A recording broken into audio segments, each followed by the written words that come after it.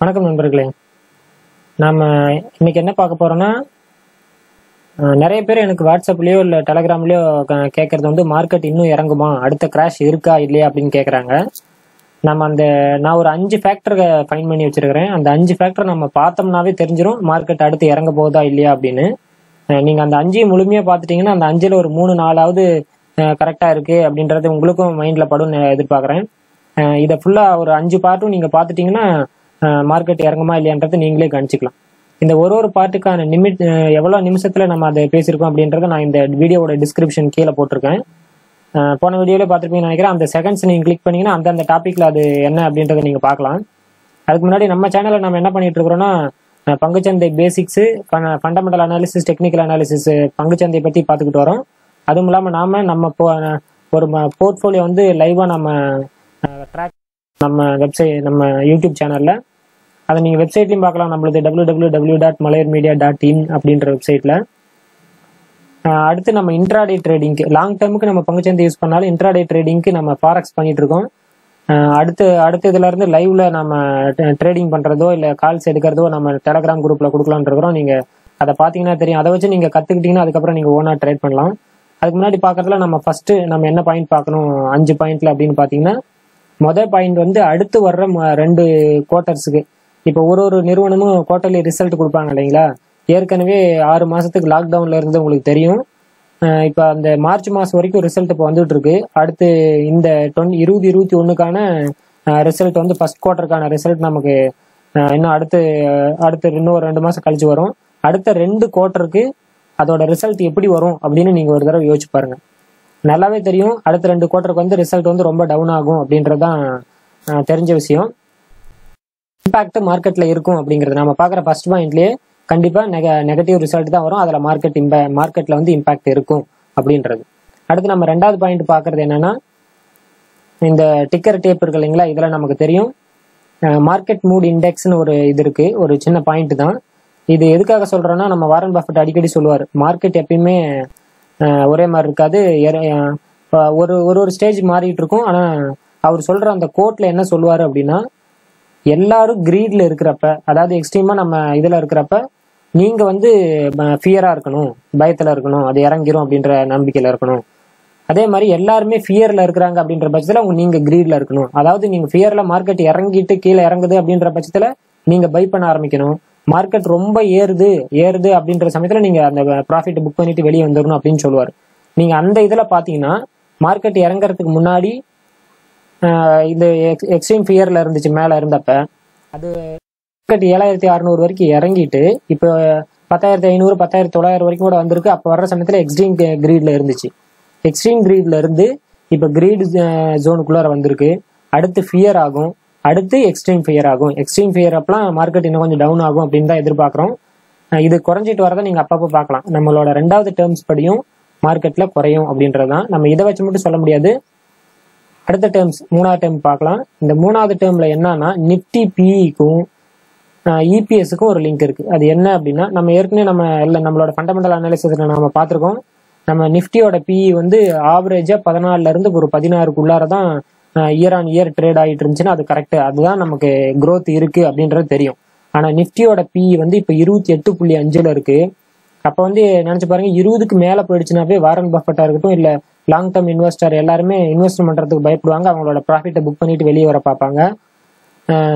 Warren Buffett அதே so அவரே சொல்றது என்னன்னா பதினாலு நீங்க வாங்க ஆரம்பிக்கணும். பதினெட்டு வரைக்குமே நீங்க அக்குமுலேட் பண்ணிக்கிட்டே வரலாம் ஷேரை இருபதுக்கு மேல போயிடுச்சுன்னா நீங்க அதுல மேற்கொண்டு இன்வெஸ்ட் பண்ணக்கூடாது அப்படின்னு அப்படின்னு சொல்லுவார். மார்க்கெட் இப்போ இருபத்தெட்டுல இருக்கிற நிலம உங்களுக்கு தெரியும். இருபத்தெட்டுல இருந்துச்சுன்னா கண்டிப்பா மார்க்கெட் கீழே இறங்கும் அப்படின்றதான் அந்த இறங்குற லெவல் எவ்வளோ அப்படின்னு பாத்தீங்கன்னா நீங்க பதினாலு பதினாறு தான் ஆவரேஜ் அந்த பதினாலுக்கு வந்துச்சுனாவே இப்ப இருக்கிற பத்தாயிரத்தி தொள்ளாயிரம் அப்படின்றது ஐயாயிரத்தி ஐநூறு. அப்படி பாதி பாதி பதினாலுன்னா கூட பாதி பாதிக்குன்னா ஐயாயிரத்தி ஐநூறு வரைக்கும் வர்றதுக்கு வாய்ப்பு இருக்கு. ஆனா மேல பதினாலுல இருந்து இருபது இருபத்தி எட்டு வரைக்கும் வந்துட்டு வந்துட்டு மறுபடியும் அந்த பதினாலுகிட்டே நீ வந்து நிக்கும் அப்படின்றது கிடையாது. அதை விட கொஞ்சம் ரிவர்ஸ் ஆகி கீழேயும் போகலாம். அப்ப பத்து கிட்ட எல்லாம் வந்துச்சுன்னா நினைச்சு பாருங்க ஒரு நாலாயிரம் நாலாயிரத்தி ஐநூறு வர்றதுக்கு கூட வாய்ப்பு இருக்கு. இது வந்து அந்த பெண்டுலம் எஃபெக்ட்னு சொல்லுவாங்க. ஏன்னா பெண்டுலத்துல வந்து ஒரு சைடு பதினாலுல கரெக்டா வந்து நிக்காது. மேல ஏறிட்டு ஒரு இருபது இருபத்தெட்டு வரைக்கும் போயிட்டு மறுபடியும் பதினாலில் வந்து நிற்காது ரிவர்ஸ்லிங் போயிட்டு தான் வரும். அப்போ பத்து கிட்ட வர்றதுக்குலாம் வாய்ப்பு இருக்கு. அப்படி ஐயாயிரத்துக்கிட்டலாம் மார்க்கெட் கிராஷ் ஆகிறதுக்கு வாய்ப்பு இருக்கு அப்படின்னு தான் எல்லாரும் எதிர்பார்க்குறாங்க. நீங்க சப்போஸ் இந்த மார்க்கெட் இது வந்து பதினாலு இன்ட்டு இந்த இபிஎஸ் மல்டிப்ளை பண்ணி பார்த்தீங்கன்னா எந்த ரேஞ்ச் வரைக்கும் வரும் அப்படின்றத பார்த்துக்கலாம். இந்த இபிஎஸ் இவங்க வந்து பயப்படுறது அதுக்கு தான் பதினாலு பதினா பதினஞ்சு தான் நமக்கு ஆவரேஜ் ரொம்ப எக்ஸ்ட்ரீமா அது ஏறி இருக்கு. டபுள் மடங்கு பதினஞ்சுங்கிறது இப்போ முப்பதா இருக்கு. அப்படியே டபுள்ல இருக்கிறனால அதுக்கு பாதிக்கு பாதி சரி இருக்கும். மார்க்கெட்ல அடுத்த கிராஷ் வந்து இன்னும் கொஞ்சம் பாதிப்பு அதிகமாகவே இருக்கும் அப்படின்னு சொல்றாங்க. நம்ம இப்போ பார்க்குற மூணாவது டேர்ம்ஸுக்கும் மார்க்கெட் இறங்குறதுக்கான வாய்ப்பு இருக்கு. அடுத்து நாலாவது டேர்ம்ஸ் நம்ம பார்க்கலாம். மார்க்கெட்ல ஃபாரின் இன்வெஸ்டர் இல்லை லோக்கல் நம்ம இன்ஸ்டிடியூஷனல் இன்வெஸ்டர்னு சொல்லுவாங்க இல்லைங்களா? அவங்க ரெண்டு பேரும் இன்வெஸ்ட்மெண்ட் பண்ணுறாங்களா இல்லை மார்க்கெட் விட்டு வெளியே போகிறாங்களான்னு பார்க்கணும். இது வந்து இந்த மேலே இப்போ நீங்கள் பார்க்குற தெரியும். மணி கண்ட்ரோலாக நான் இதை எடுத்திருக்கேன். எஃப்ஐஐ டிஐஐ ட்ரேடிங் ஆக்டிவிட்டி அப்படின்னு இந்த மந்த் முழுக்க கேஷ் மார்க்கெட்டில் அவங்க என்ன பண்ணியிருக்கிறாங்க அப்படின்னு நம்ம பார்க்கலாம். இது எஃப்ஐஐ க்ரோஸில் இது டிஐஐ எஃப்ஐஐன்னு தெரியுங்களா ஃபாரின் இன்ஸ்டிடியூஷனல் இன்வெஸ்டார் இது டொமஸ்டிக் இன்ஸ்டிடியூஷனல் இன்வெஸ்டார் அப்படின்னு சொல்லுவாங்க. இந்த எஃப்ஐஐயும் டிஐயும் தான் மார்க்கெட்ல வெளியில இருந்து நம்ம நாட்டை விட்டு வெளியில இருந்து பணம் உள்ள வருது அப்படின்னு அர்த்தம். நீங்க இந்த மா இந்த மாசம் பதினேழாம் தேதி வரைக்கும் நீங்க பாத்தீங்கன்னா இதுல தெரியும்.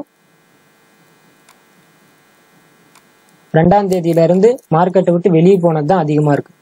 அப்ப நீங்க ஆவரேஜா எடுத்து பாருங்க எஃப்ஐஐ இதுதான் மந்த் இந்த டில் டேட் வரைக்கும் இந்த மாசத்துல என்ன பண்ணிருக்காங்க அப்படின்னு மூணாயிரத்தி தொள்ளாயிரத்தி தொண்ணூறு கோடி ரூபாய் எஃப்ஐஐ வெளியில எடுத்துட்டு போயிட்டாங்க அப்படின்னு அர்த்தம். டிஐ வந்து இந்த மாசம் இன்னைக்கு பதினேழாம் தேதி வரைக்கும் ரெண்டாயிரத்தி இரநூத்தி முப்பத்தொன்பது கோடி ரூபாய் கேஷ் மார்க்கெட்ல இருந்து வெளியில எடுத்துட்டு போயிட்டாங்க அப்படின்னு அர்த்தம். அதே மாதிரி எஃப் அண்டோ இந்த செக்டார்ல பாத்தீங்கன்னா ஃபியூச்சர் இதுல எஃப் அண்டோ செக்டார்லன்றது நம்ம நிஃப்டி இறங்கும் அப்படின்னா புட் ஆப்ஷன் கூட பை பண்ணி வைக்கலாம். அந்த அந்த மாதிரி பை பண்ணியிருந்தாங்கன்னா அக்குமுலேட் பண்றாங்க அப்படின்னு அர்த்தம். அதே மாதிரி எஃப்ஐஐ ஆப்ஷன் இண்டெக்ஸ் இது ஃபியூச்சர்ல இது ஆப்ஷன்ல செல் பண்ணி ஹோல்ட் பண்ண முடியும். ஃபியூச்சர்ல உங்களுக்கு இறங்க போகுதுன்னா நீங்க புட் ஆப்ஷன் பை பண்ணி இல்லை பை பண்ணி வச்சுக்கலாம். இல்லைன்னா கால் ஆப்ஷனையும் செல் பண்ணி வச்சுக்கலாம். அந்த மாதிரி ரெண்டு ஆப்ஷன் இருக்கும். இது வந்து நீங்கள் அப்போ ஆப்ஷனில் நிறைய இன்வெஸ்ட் பண்ணியிருக்கிறாங்க அப்படின்னு அர்த்தம். மியூச்சுவல் ஃபண்ட் அவங்க என்ன அதில் என்ன பண்ணிருக்காங்க இந்த மாதம் வரைக்கும்?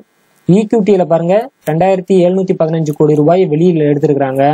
அந்த ஈக்விட்டியிலேருந்து வெளியே எடுத்துட்டு டெப்த் இதில் வந்து நீங்கள் இன்வெஸ்ட் பண்ணியிருக்கிறாங்க பத்தொன்பதாயிரத்தி அறுநூத்தி எண்பத்தி ரெண்டு. இந்த பாயிண்ட் ஆஃப் வியூவில் தான் நீங்கள் நல்லா யோசிக்கணும். மார்க்கெட்டில் எஃப்ஐஐ டிஐ என்ன பண்றாங்க அப்படின்னா அவங்க அங்க ஈக்விட்டி மார்க்கெட் இறங்க போகுது அப்படின்னு தெரிஞ்சுக்கிட்டு அங்க இருக்கிற அமௌண்ட்டை வந்து டெப்ட் மார்க்கெட்டுக்கு மாத்திருக்கிறாங்க. டெப்ட் மார்க்கெட் அப்படின்னு என்னன்னா பாண்டு வாங்குறது தங்கத்துல முதலீடு பண்றது இந்த மாதிரி பத்திர பத்திர இதுன்னு சொல்லுவாங்க இல்லைங்களா ஆர்பிஐயோட பத்திரம் இல்ல தனி வேற ஏதாவது நிறுவனங்களோட பத்திரம் பாண்டு ஏதாவது கிடைச்சுன்னா அதுல இன்வெஸ்ட்மெண்ட் பண்ணுவாங்க. நான் அதை தான் எதிர்பார்க்கறேன். ஏன்னா இதுல இருந்து இவங்கெல்லாம் ஈக்விட்டி மார்க்கெட்ல இருந்து எடுத்துட்டு டெப்ட் மார்க்கெட்ல இன்வெஸ்ட் பண்ணிருக்காங்க நாள் வரைக்கும் அப்படின்னு. அதே மாதிரி எஃப்ஐஐ என்ன பண்ணிருக்காங்க அப்படின்னா அவங்களும் ஈக்விட்டியில இருந்து ரெண்டாயிரத்தி எட்நூத்தி எழுபத்தி ஏழு கோடி ரூபாய் வெளியில எடுத்துட்டு டெப்ட் மார்க்கெட்ல ஆயிரத்தி நானூற்றி பத்து ரூபா ஆயிரத்தி நானூற்றி பத்து கோடி ரூபாய் இன்வெஸ்ட்மெண்ட் பண்ணிட்டு இருக்கிறாங்க அப்படின்னு. இது இந்த மாதத்துக்கான டேட் மட்டும். நீங்க இந்த இந்த வருஷத்துக்கான மொத்தமே பாத்தீங்கன்னா கடந்த டிசம்பர்ல இருந்து பாருங்கள் பாருங்க இந்த ஒரு நாலஞ்சு ஃபிகர் பாத்தீங்கன்னாவே தெரியும். இதுல இது எல்லா மாசம் மாசம் என்ன பண்றாங்க அப்படின்றது தெரியும். கடந்த மார்ச் மாசமே ஈக்விட்டி மார்க்கெட்ல இருந்து அறுபத்தி ரெண்டாயிரத்தி நானூத்தி முப்பத்தி மூணு கோடி ரூபாய் வெளியில போயிருக்கு. அதுக்கப்புறம் உள்ள வர்றதே என்னன்னா பதிமூணாயிரம் இருபத்தி மூணாயிரம் கோடி உள்ள வந்திருக்கு. இருந்தாலும் இங்க டெப்ட் மார்க்கெட்ல இருந்துமே பாருங்க அறுபதாயிரத்தி தொள்ளாயிரத்தி முப்பத்தி நாலு கோடி ரூபாய் வெளியில எடுத்துட்டாங்க. டெப்ட் மார்க்கெட்ல இருந்து இன்க்ரீஸ் என்ன இருக்கிற அமௌண்ட் வந்து வெளியில எடுத்துக்கிட்டு தான் போறாங்க அப்படின்றதுதான் இந்த எஃப்ஐஏல மியூச்சுவல் ஃபண்ட்லயும் அதே மாதிரி மாசம் மாசம் பாருங்க. இதுல இருந்து வெளியில வெளியில எடுக்க ஆரம்பிச்சிட்டாங்க. இதுல அதிகமாயிடுச்சு. டெப்ட் இதுல எட்டாயிரம் கோடி ரூபாய் பன்னெண்டாயிரம் கோடி ரூபான்னு டெப்ட் இதுல இன்க்ரீஸ் பண்ண ஆரம்பிச்சிட்டாங்க. அடுத்து இதே மாதிரி தான் கேஷ் மார்க்கெட்லையும் பாத்தீங்கன்னா இந்த மூணு இதுலயே தெரியும். ஈக்விட்டி மார்க்கெட்ல இருந்து எவ்வளவு தூரம் வெளியில வெளியில வந்திருக்கிறாங்க அப்படின்னு. இந்த டெப்ட் மார்க்கெட்ல வந்து இன்க்ரீஸ் ஆயிருக்கு. இப்போ நம்ம பார்த்த நாலு டேர்ம்ஸ்லயுமே மார்க்கெட் வந்து இறங்குறதுக்கான கண்டிஷன்ஸ் தான் இருக்கு. அடுத்து நம்ம பார்க்க போறது வந்து டெக்னிக்கலா இறங்குமா இல்லையா அப்படின்னு. நம்ம சார்ட் படி பார்த்தீங்கன்னா நான் வீக்லி சார்ட்டில் பார்த்தோம்னா அது கொஞ்சம் கிளியராக தெரியும். வீக்லி சார்ட் எடுத்திருக்கேன். இது மார்க்கெட் கிராஷு இதில் தெரியும் மார்க்கெட் எப்பயுமே ரொம்ப இறங்குச்சுன்னா அதுலேருந்து ஃபிஃப்டி பர்சன்டேஜ் ஆகுது மேலே வரும்.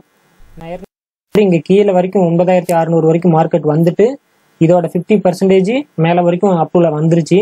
இதுக்கு மேலே ஓவராக நம்ம இன்வெஸ்ட்மெண்ட் பண்ணக்கூடாது. இந்த இடத்துல பிரேக் அவுட் ஆகுமா? இல்ல இதுலயே ரிவர்ஸ் ஆகுமா அப்படின்றது அந்த அந்த கண்டிஷன்ல இருக்கிறதுனால இந்த சமயத்துல வந்து இப்போ புதுசா யாரும் இன்வெஸ்ட்மெண்ட் பண்ண வேண்டாம். நம்ம இதுவே இதையே கம்பேர் பண்ணிட்டு ரெண்டாயிரத்தி எட்டுல ஒரு கிராஷ் வந்தது இல்லைங்களா? அந்த கிராஷை நம்ம பார்த்தோம் அப்படின்னா உங்களுக்கு இன்னும் கிளியரா புரியும். ஒரே கிராஷ்ல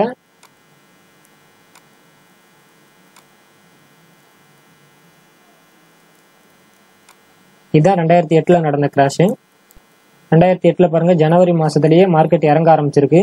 எவ்வளோ பாயிண்ட்ஸ் ஆறாயிரத்தி முந்நூறுல இருந்து நாலாயிரத்தி ஐநூறு வரைக்கும் இறங்கியிருக்கு. கிட்டத்தட்ட ஆயிரத்தி ஐநூறு பாயிண்ட் இறங்கிக்கிட்டு மேலே பவுன்ஸ் பேக் மேலே வந்தது பாருங்க. ஆயிரத்தி ஐநூறு பாயிண்ட்ல கிட்டத்தட்ட ஏழ்நூறு பாயிண்ட் மேலே ஏறணும். அப்போ இதுல இருந்து எழுநூறு கணக்கு பண்ணுங்க. நாலாயிரத்தி ஐநூறுல இருந்து ஏழுநூறுனா ஐயாயிரத்தி இரநூறு ஐயாயிரத்தி முந்நூறு. அது வரைக்கும் தான் பவுன்ஸ் ஆயிருக்கு. இப்போ இது உங்களுக்கு புரியும் நினைக்கிறேன். எவ்வளோ அதில் ஃபிஃப்டி பர்சன்டேஜ் ஏறி இருக்கு. அதே கண்டிஷன்ல தான் மார்க்கெட் இப்போ இருக்கு. அடுத்த கிராஷ் பாருங்க. இங்க இருந்து ஐயாயிரத்தி இரநூறுல இருந்து நாலாயிரத்துக்கிட்ட வந்திருக்கு. சப்போஸ் அது ரவுண்டா வச்சுட்டோம்னா நாலாயிரம். அப்ப ஆயிரத்தி இரநூறு ஆறுநூறு பாயிண்ட்ஸ் மேலே ஏறணும்.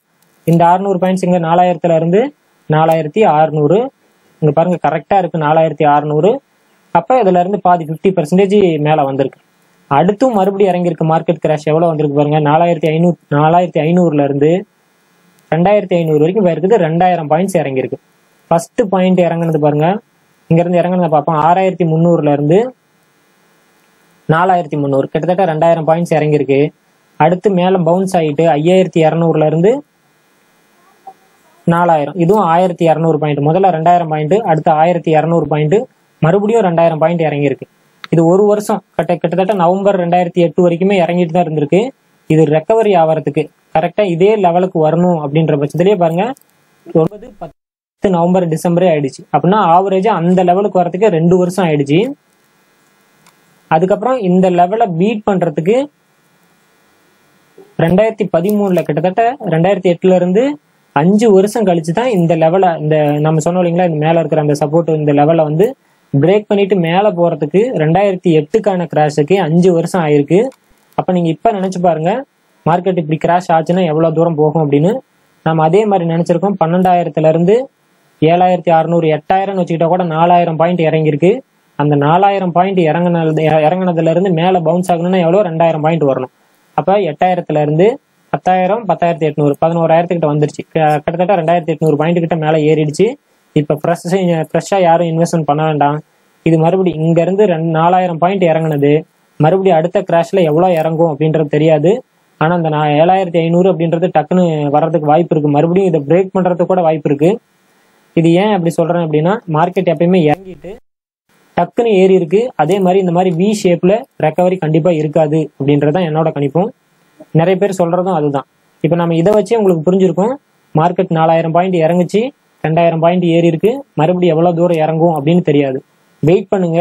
நல்ல ஸ்டாக்ஸ் எல்லாம் இன்னும் கொஞ்சம் சீப்பான ரேட்ல கிடைக்கும். அதெல்லாம் இப்போ தேர்ந்தெடுத்து வச்சுங்க. நம்ம ஃபண்டமெண்டல் அனாலிசிஸ் நீங்க பார்த்துருக்கீங்க நம்ம வீடியோக்குள்ள அதை நீங்க பார்த்து ஒரு ஒரு ஸ்டாக்கா தேர்ந்தெடுத்து வச்சுக்கோங்க. எப்போ அடுத்த மார்க்கெட் கிராஷ் இறங்கி வருதோ அந்த சமயத்துல நாம ஃப்ரெஷ்ஷா இன்வெஸ்ட்மெண்ட் பண்ணிக்கலாம். இப்ப இந்த அஞ்சு பாயிண்ட்டுமே நான் சொன்னது உங்களுக்கு கிளியரா புரிஞ்சிருக்கும் அப்படின்னு நினைக்கிறேன். இந்த அஞ்சு பாயிண்ட்டை வச்சு நீங்க மார்க்கெட் வந்து அடுத்த கிராஷ் இருக்குமா இல்லையா அப்படின்றத நீங்க புரிஞ்சிருப்பீங்கன்னு நினைக்கிறேன். நம்ம அடுத்த வீடியோல சந்திக்கலாம் ஃப்ரெண்ட்ஸ்